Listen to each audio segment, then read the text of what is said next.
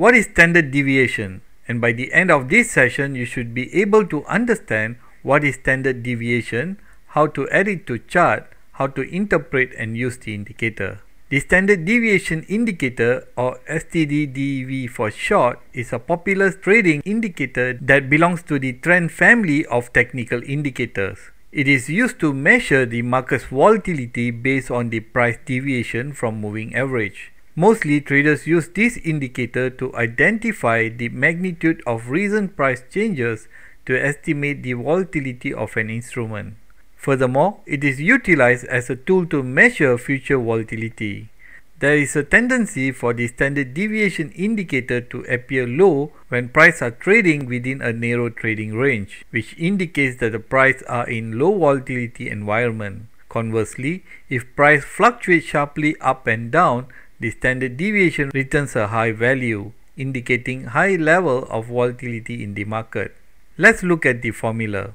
In order to calculate the standard deviation, traders must first calculate the average of all data points, then sum all the points and divide them by the number of data points. The second step is to calculate the variance for each data point by subtracting the mean from the value of the data point.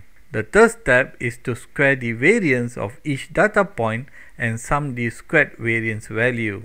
A fourth step is to divide the sum of the squares of the variance values by the number of points in the data set.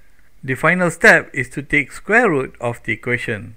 By default, the standard deviation indicator is calculated based on period 20, but traders can change this according to their preferences. Now let's look at the features of this indicator and how to interpret it. The standard deviation appears in a separate window under the chart and as a single main line which starts at 0 and always remains in positive. It is important to note that the indicator does not show the direction of the trend as it follows along with the increase or decrease of volatility regardless of the direction of the market. The standard deviation rise indicates a period of high volatility as the closing price and the average closing price usually differ significantly from each other. Extreme standard deviation highs signal that current activity will soon slow down and will be followed by a period of consolidation. Similarly, a decrease in standard deviation lines reflect low volatility in the market, indicating that prices are stable and there is no much movement. Extreme standard deviation lows indicate that current activity is low and there will be a sudden increase in activity in the future. We'll go through the standard deviation trading technique in details on chart and also how to use it with combination of price action. Let's begin with placing the standard deviation indicator on chart. To place the standard deviation indicator on chart, there's few methods to do it. The first method is go to insert then indicators, under the trend, select the standard deviation. The second method will be the easiest one as you click and drop it from the navigator panel. To do that, simply go to navigator panel, indicators, under the trend, click the standard deviation, drag and drop it on chart.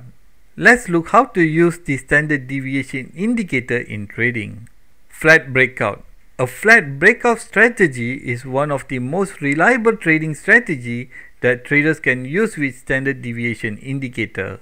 The flat breakout strategy can simply be described as an attempt to take advantage of a rise in the standard deviation indicator from low volatility state to high volatility state. In order to trade the flat breakout, it is important for traders to identify a flat move or low volatility on the standard deviation indicator. And when standard deviations start moving out from the flat range, a entry signal is generated.